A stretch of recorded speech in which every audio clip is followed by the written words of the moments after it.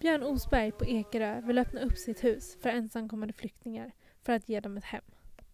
Det har ju varit en ganska långt utdragen process det här. Jag började för kanske drygt, ja det är mer än ett och ett halvt år sedan och bjuda ut möjlighet för ett, ett, ett ensamkommande barn eller en familj till och med att komma hit och bo. Och, eh, annonserade det eller anmälde det till kommunen till socialtjänsten där.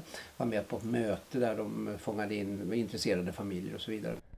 Björn har ett stort hus på 165 kvadratmeter och tre våningar. Huset har flera sovrum och stor yta. Det finns även en möjlighet att skapa fler rum för att hjälpa fler människor. Jag har ett sovrum nere i bottenvåningen eller i källarvåningen och där finns egen ingång till. Där ska jag bara inrätta en dusch där nere plus en toastol så kan man bo helt avskilt i, i, källarvåningen. Björn har fortfarande aktiv kontakt med familjehemsföretagen och väntar på svar om att få ta in och hjälpa fler flyktingar. Jag har anmält mig också som eh, akuthem där man kan alltså placera barn om man behöver över en helg eller någonting som har hänt någonting akut i en familj. Mm. Det är självklart att människor i nöd, de ställer man upp för. Det är bara självklart. Vi är olika där, men jag tycker så.